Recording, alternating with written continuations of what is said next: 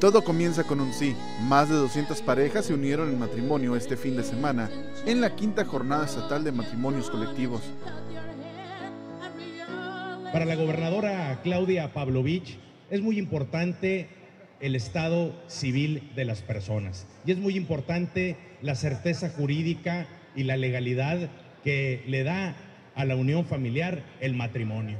Como sabemos, el matrimonio es un contrato que estipula muy bien los derechos y las obligaciones que tienen como pareja, los que tiene el hombre, los que tiene la mujer, y por supuesto da certidumbre jurídica también a los hijos y a los nietos.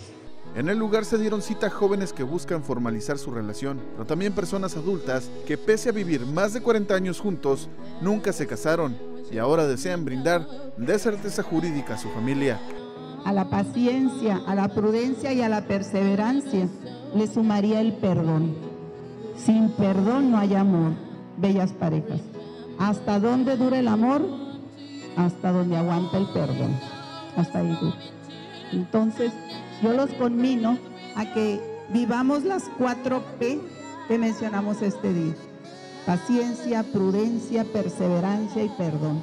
Serán, son y serán la base del éxito de, las familias y de las parejas por siempre. Quiero agradecerles este momento y felicitar grandemente a doña Rosa y a don Sergio, que han estado juntos en la salud y en la enfermedad, ¿verdad? Con imágenes y edición de Manuel Bracamontes, para las noticias, Joaquín Galás.